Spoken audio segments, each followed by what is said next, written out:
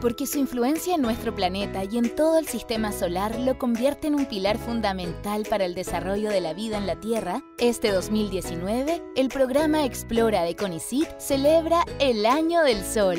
¿Sabías que de las más de 300 mil millones de estrellas que hay en nuestra galaxia, el Sol es la más cercana a nosotros? Y gracias a él tenemos agua líquida y alimentos. Pero esta estrella no solo influye en todo el sistema solar, también afecta de múltiples formas a nosotros las personas y a todo el ecosistema. Por ejemplo, en nuestro ritmo circadiano, estado de ánimo y salud de nuestra piel, también en plantas, permitiendo la fotosíntesis, y nos provee gran cantidad de energía renovable capaz de generar electricidad en armonía con el medio ambiente.